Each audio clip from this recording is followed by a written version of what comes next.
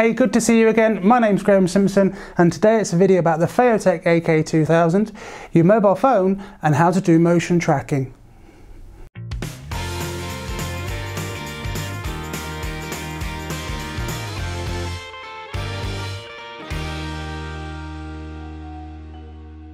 Right, as you can see now, I've got the Feiyu Tech gimbal, my G, uh, G80 and a phone hooked up on the top.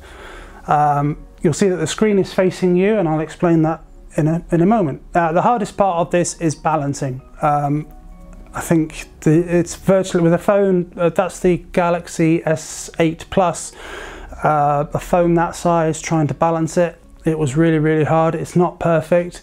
Um, it's still top heavy so I don't you, you could only really do a static thing uh, motors are coping okay I was doing it yesterday and they got very hot so something to bear in mind that you'll you'll not be able to run around with this. I think this is a static thing and everything set up that way.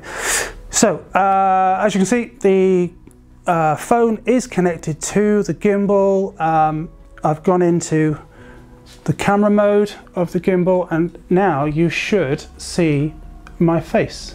Now if I press that green box that's around my face, it should,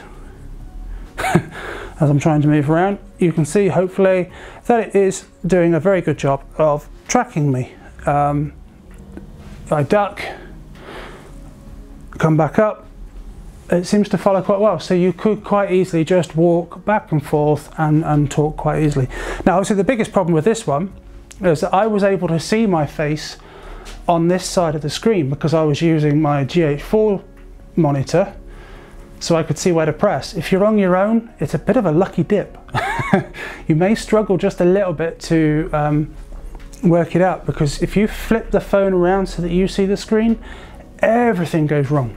Everything goes wrong. It cannot cope with doing it the other way around.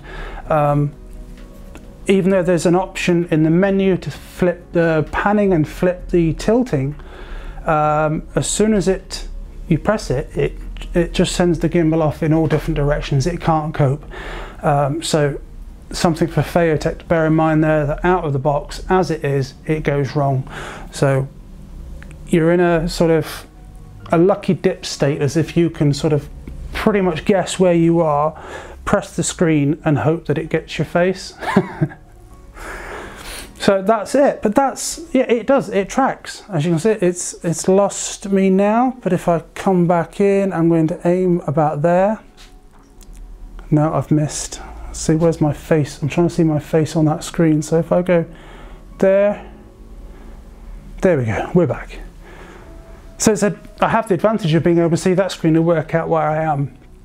I did do it earlier without looking at the screen. I kind of positioned the gimbal and worked out where I needed to stand and then thought, right, I am about there. I got it, but yeah, you can see that's now tracking me. It's lovely and smooth, uh, no problems at all. You can make it, so this is on motion mode, so this is supposedly quite fast. Uh,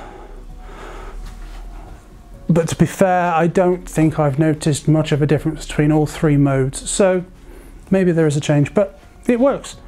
Um, I'm happy with that. So DJI released the Ronin SC, and this is one of the features they pimped. Feiyu Tech, this is the first I've ever heard that they do this. So wow, um, it's a cool feature if you're a solo shooter and you like to walk and talk. I certainly do, but I haven't been able to do it even with the new uh, AK4 500 um, with its remote thing. You can't do it automatically, so this could be a cool feature.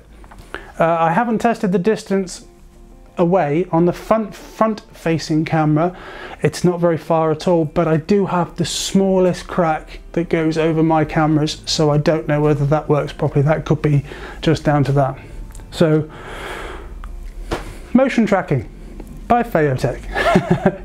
All good. I love it. Uh, I shall probably try and have a go at using this one out in the field at some point and, and seeing how it copes in a everyday setting. As always, thank you for watching my video. Sorry if this was a bit rambly. Uh, I was a bit excited to show you this one. Uh, if you this is your first visit here, do click that subscribe button. There'll be certainly lots more tips and uh, other videos about the Feiyu Tech gimbal range. And if I uh, find a solution for the front facing camera, stay tuned because I'm sure I will, I will find a way for you. Thanks for watching.